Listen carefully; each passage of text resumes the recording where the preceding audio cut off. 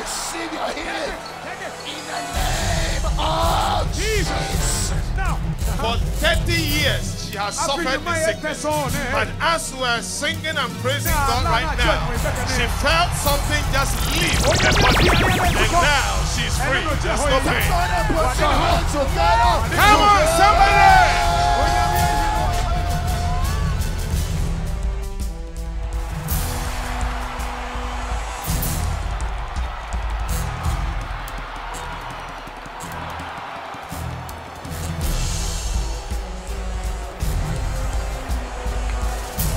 The Bible says it is not he that willeth, nor he that runneth, but it is God that showeth mercy.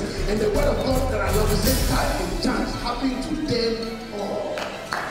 I break every hold of the enemy over your life in the name that is above every other name today.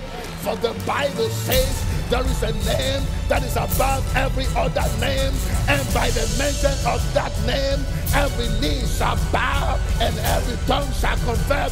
Somebody say, Yeah. To all our sponsors, we say thank you and God bless you for your support. If you have been blessed through Miracle Touch and want to be part of this great vision, please write to Dr. Lawrence Tetteh, Worldwide Miracle Outreach, P.O. Box 8786, Northwest 2 1WR,